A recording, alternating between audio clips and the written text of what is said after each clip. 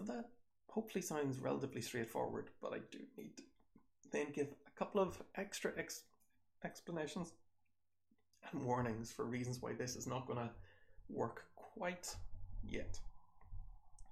Okay, so what I'm going to do, just in case I need this again, I'm going to press Control and S.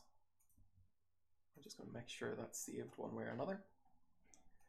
And then I'm going to delete all of this. And then I'm going to run the script. And you can see that nothing happens. And the reason that nothing happens is that we need annotations within which to actually apply it. If I select a region, and now if I run the script, now it works. And you can see step by step actually how it worked. It ran the detection and then it applied the classification within it. Now, the trouble can be, let's say I create multiple regions and I run the script. You notice that it doesn't actually apply for all the regions, only for the selected region that we've got. So I can select one, I can hold down the Alt key and select others, and I can run it that way.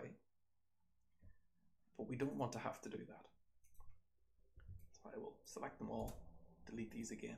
What we ideally want is a script which will automatically select the annotations within our image and then run the detection inside them.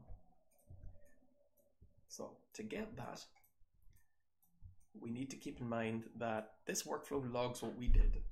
And in this case, we already had the annotation selected whenever we ran the cell detection, and so it didn't need to bother selecting. Probably what I should have done is make sure that I don't select the annotation. Now, if I use the trick of finding the last time I ran positive cell detection, double click to open it up, press run. I'm given the question, do I want to process all the annotations? I say okay, and then QuPath will select them for me. Now I can check the workflow and see what happened. And there's an extra command in the workflow called select objects by class. I can create a script from that, or I can create, it's probably easier if I create a workflow, and I'm going to delete everything else.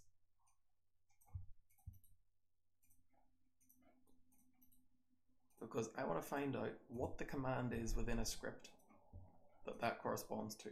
And it's simply this, select annotations. I copy that line, I put it in here, and I put it in before